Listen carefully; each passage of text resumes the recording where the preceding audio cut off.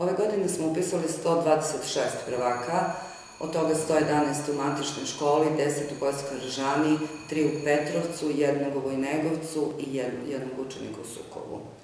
Tako da mi smo u matičnoj školi imali četiri odeljenja i sada smo upisali četiri.